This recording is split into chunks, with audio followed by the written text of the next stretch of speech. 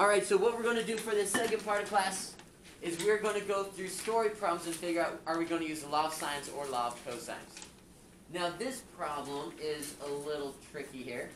I'm going to go through how this normally looks like and then how this would sometimes look like. So this used to be an activity I would do with my students is we would go outside and we would build these little protractor measuring cool things and we would say how tall is the flagpole and we would go and we'd figure it out.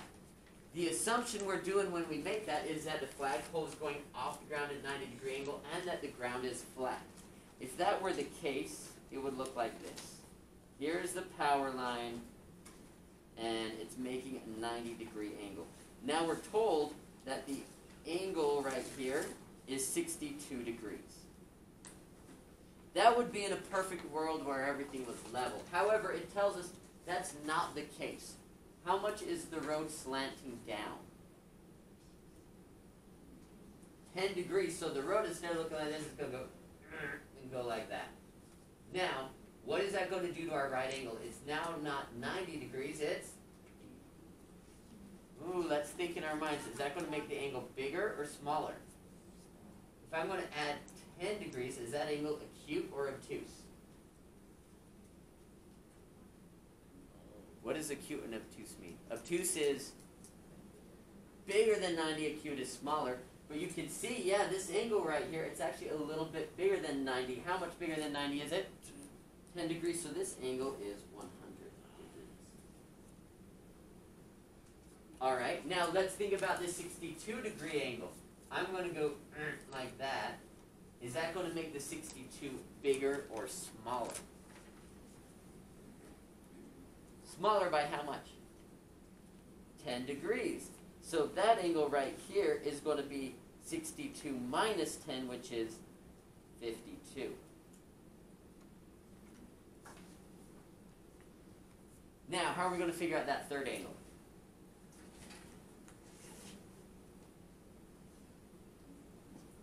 Say that a little louder there, Allie. Uh-huh. So I'm going to do 180 minus both the angles, which is 152, which is what?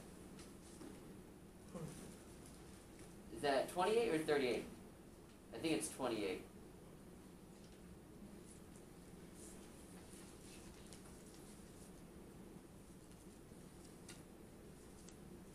Now, that should make sense, because if I'm looking at this picture right here, what is the relationship between these two angles here?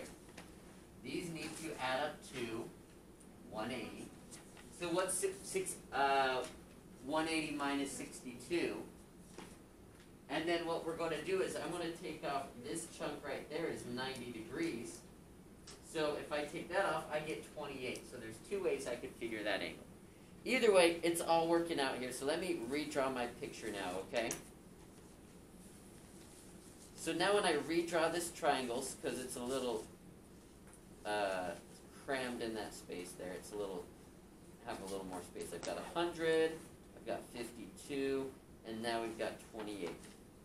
Now the only side length I'm given is right here that the length of the shadow is 14.5. Is that enough information for us to solve for the height of the pole? Turn to your neighbor. Is this a law of sines question or is it a law of cosines question?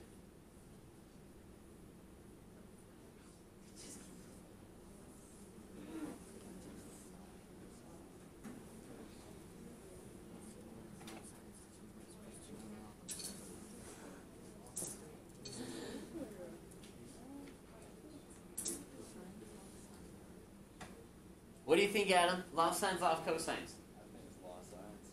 It is law of. How did you know that? It was just a good guess. You heard it muttering in the background. Someone said is literally Well, so remember to use law of we need to know the side and angle of a letter. Is there an angle and side combination we know out there? I think if we label it, this is A, this is B, and this is C. So what letter do we know both the side and angle of? C, and which one are we trying to find? A. A. So I'm going to set this up. We know C, or actually we do what we find first. Sorry, let me do that first. We're trying to find which letter? Hmm. A, and we know C. So, are we finding sides or angles? So what goes on top? So I'm going to do A over sine of A equals C over sine of C. When I plug that in, I don't know what A is, that's going to be our variable x, but what is angle A? Okay, side C is 14.5. What is angle C?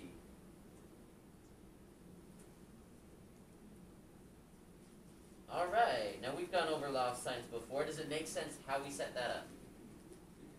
We knew what we're trying to find. This is, we were able to know both the side and angle of C. We're solving for a side, so we put sides on top. Great, now we just want to solve for x. What would I need to do on both sides? Okay. Will you go ahead and plug that into your calculator? Let me know what that gives you.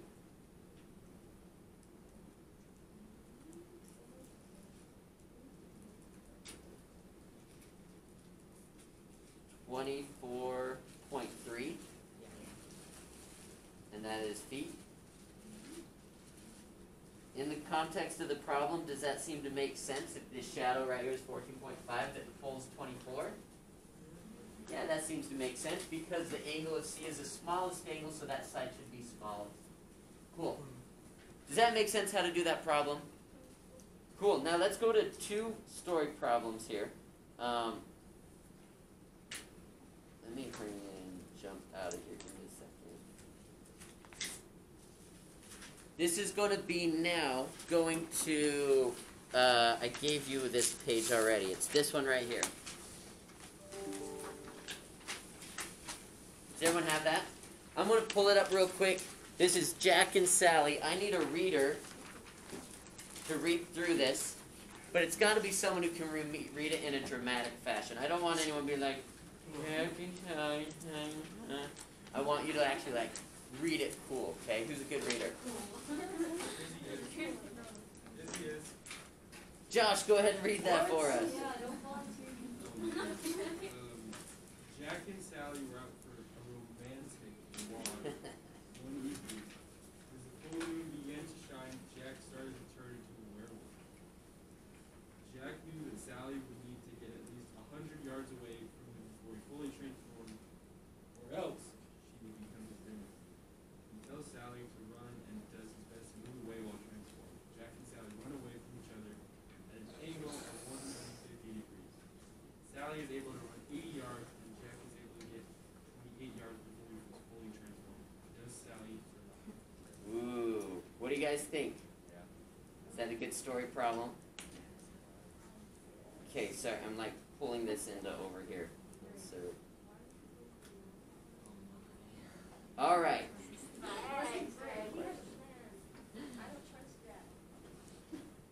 He he forgot it was going to be one of these uh, full moon nights, right?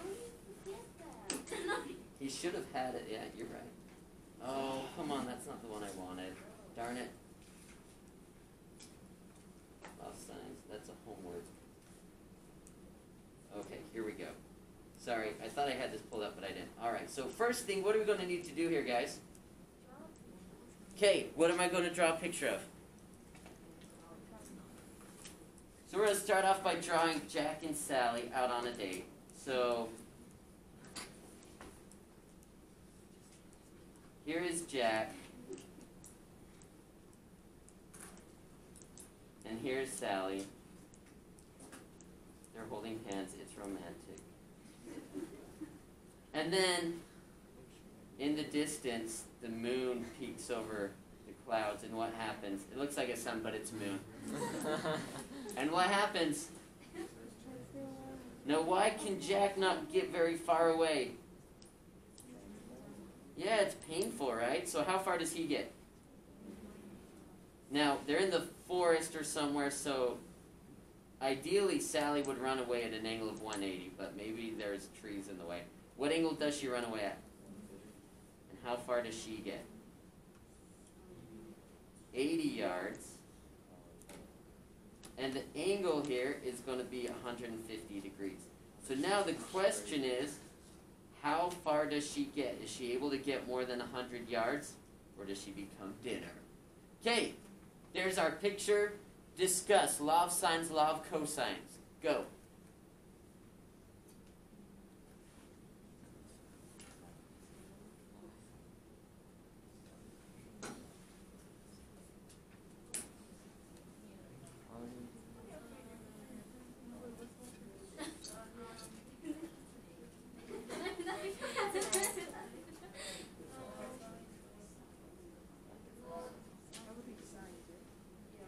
Brandon, what are you thinking? How come?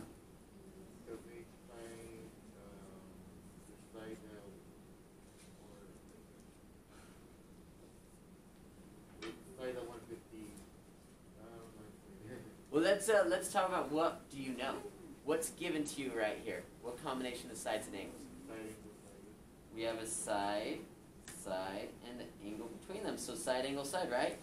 If we have a side, angle, side, what's the only thing we can use? Law of cosine. So you were correct. This will be a law of cosines to solve for this missing side here. All right. So who can tell me how you're going to set that up? I'll give you a high two. You want it, Hiram? You're looking at me like you want it. Okay, then Tao's got it. Go ahead, Tao. area equal a half. Well, so hold on. That's for area of the triangle. Oh, We're trying to find the missing side using the law of cosines. So, they're, although they both use side, angle, side, it's going to be slightly different. So, going back to law of cosines last time, she wanted that height two. Sorry. But if you remember, does anyone remember law of cosines? Go ahead, Mikkel. uh, so I have um, x squared, uh, or Yep, whatever we want it to be. Yep. uh, is 28 squared plus 80 squared minus 2 times 28 times 80 times cosine of 150. Sorry, I messed up as I was going 28 times 80 times the cosine of 150. That is correct. Nice job, Mikkel. So then what am I going to do, guys? Heads up. Huzzah! Yeah, that's why I'm not on baseball. Put in your calculator. Keep in mind that that's going to be the distance squared. So then what are you going to need to do? Not square it. There we go.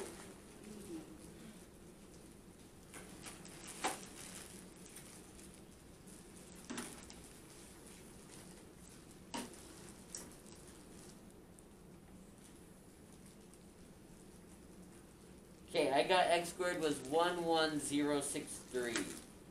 11,063. You guys agree with that? So what is this square root? Who's got it for me? Did Sally make it? 105. Sally is not dinner. Okay. Jack, come on. You need to have a lunar calendar on your phone to like give you warnings or something. Okay. Hey, law of cosine's fun, right? All right, now scroll down. Or well, flip the page over. I need another dramatic reader. Josh did such a good job. Anyone else want to volunteer? Or I'll just call on someone. Brenda? No, Angelina. I was like, wait, who are you pointing to? Angelina, come on, you were in the play. You can read with drama. Go ahead. Mag- Magneto is once again causing havoc for the X-Men. He broke into he broke into to an army base. What? Who wrote this thing? My dramatic reading is thrown off. He broke into an army base and intends to steal atomic bombs. He is confronted by Cyclops and Wolverine at different ends of the room. Cyclops needs to know how high off the ground Magneto is to aim his laser beam accurately. If he misses, he could hit one of the nuclear bombs and destroy everything in a three kilometer radius. The angle of elevation from Cyclops to Magneto is 35 degrees. The angle of elevation from Wolverine to Magneto is 50 degrees. If Cyclops and Wolverine are 40 meters apart, how high off the ground is Magneto? Epic story problem, right? Now, I actually drew this one out for you because I didn't think it would be fair for me to, like, try to draw Wolverine and have him look totally stupid. So here's Wolverine, here's Cyclops. What do we know? What's given in this problem? Okay, so I know Wolverine to Magneto is 50 degrees.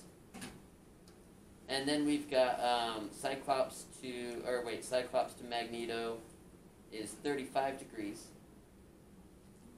And then I'm told that Wolverine and Cyclops are 40 meters apart. Does that sound good? Now, what is the problem trying to find here? Height of Magneto. Okay, so now let's pause and let's think about this. What combination of angles and sides are given? What law could we use, and will that help us find h? I'm going to let you stew on this for 20 seconds. Talk to your neighbor. What do you think is a good first step?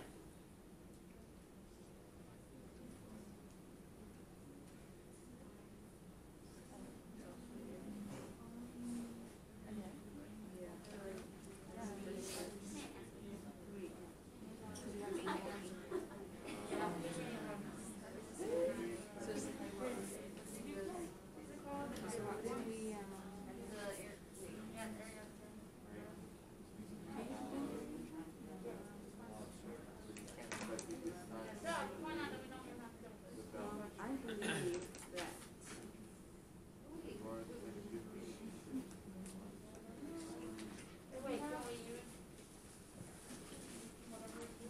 All right. Who thinks they have a good game plan?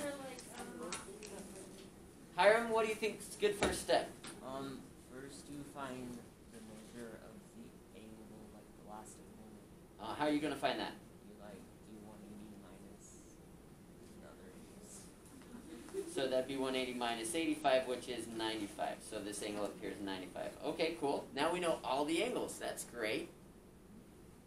Well, now, how could I figure out one of the other sides? It's not a right triangle, so I'm guessing I'm going to have to use law of sines, law of cosines. Can we use law of cosines here? When can we use the law of cosines? Side angle side or side side side? Do we have either? No. So what we're going to need to do is we're going to need to use the law of sines.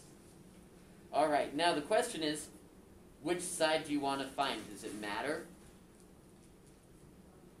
Not really. Let's let's actually do this. I'm going to call this angle C. That would make this side C. Angle W for Wolverine, and then this would be angle M for Magneto. Uh, let's find W. Okay, let's just make this easy on ourselves. What I'm going to do is I'm going to find W. The question is, which letter do we know both the side and angle of? So we know Magneto. Now, if we're finding a side, do we put sides or angles on top? So I'm going to do W over sine of W equals M over sine of M. And then we're going to fill that in. So we don't know the distance W, which is from Cyclops to Magneto, but we do know the angle W is 50 degrees. And then M is the distance between Cyclops and Wolverine, that's 40. And the angle of M is 95 degrees. Okay, do you guys agree with how I've got this set up? If I'm going to solve for W, what do I just need to do now? Times the sine of 50 on both sides. So will you guys go and on your calculator do 40 times the sine of 50 over the sine of 95? That should give us W.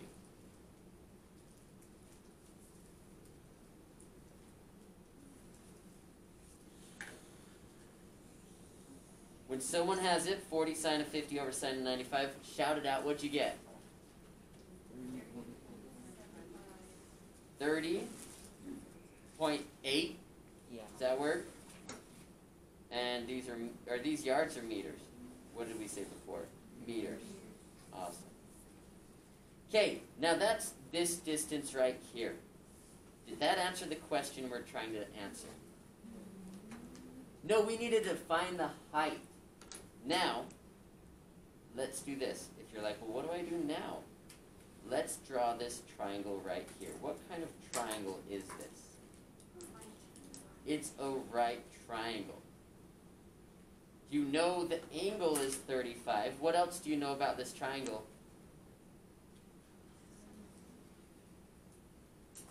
Got the hypotenuse right here, right? Isn't that what you just found? What are you trying to find? Do you have enough information you could do that? Because if it's a right triangle, what can you use? SOHCAHTOA? Remember we talked about that earlier? Alright, so what I want you to do is now I want you to solve this with your neighbor. I want you to um, figure it out. Would I use sine, cosine, or tangent and then solve for the height? Or else Magneto's going to take all the atomic bombs and the world will be destroyed except for mutants. And I don't think. Is anyone in here a mutant? You wouldn't out yourself anyway, right? Okay, good. You're smart.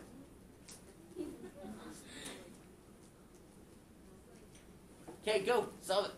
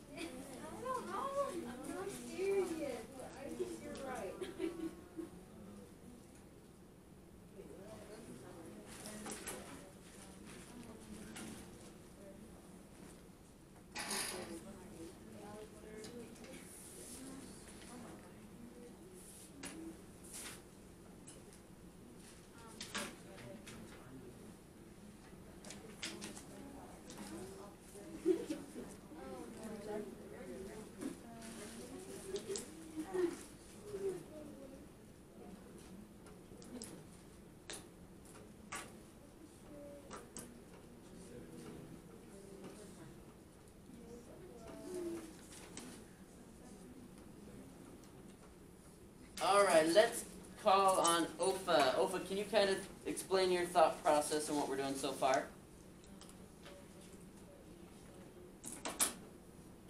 Sorry, I couldn't hear that. Say it a little loud.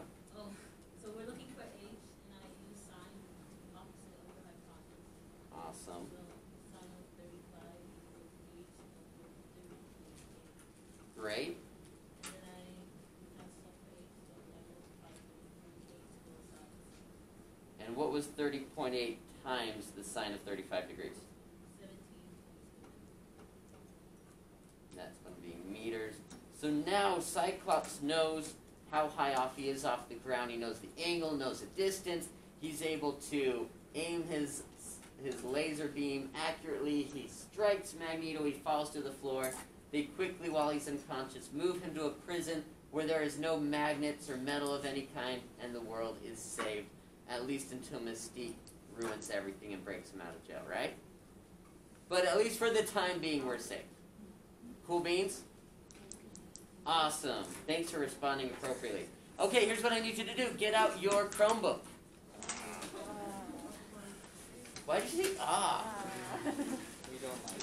What if I was going to say play games for the next 30 minutes? But you're not But I'm not. You are correct. Get out your Chromebook. Taking this quiz. You are going to, it's not stupid quiz. I think I agree. It's a hate crime. No, it's not. Well, I hate it. I agree.